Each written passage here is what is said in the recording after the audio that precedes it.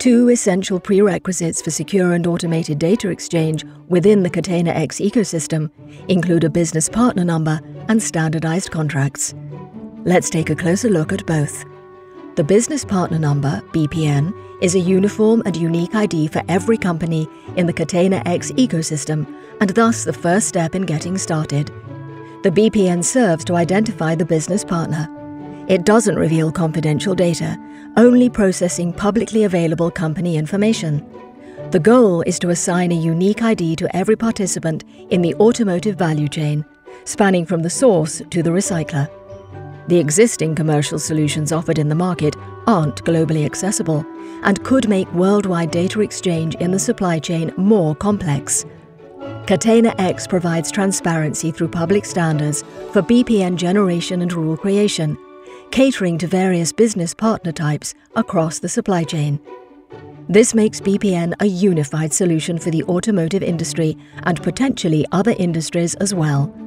For this to succeed, all participants must be involved. So at the time of registration, each company is assigned its own unique BPN.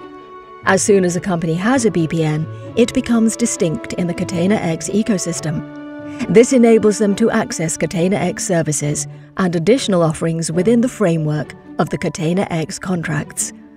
For this purpose, companies now conclude agreements in individual contracts.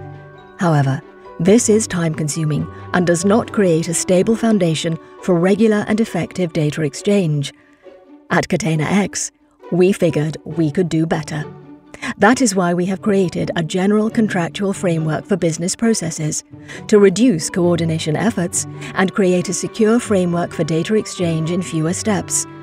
This adaptable contractual framework covers everything from fundamental to intricate needs. We consider it essential to use generally accepted and standardized agreements that apply equally to all companies so that all our partners can act on an equal footing. This is fair, saves time, and creates trust.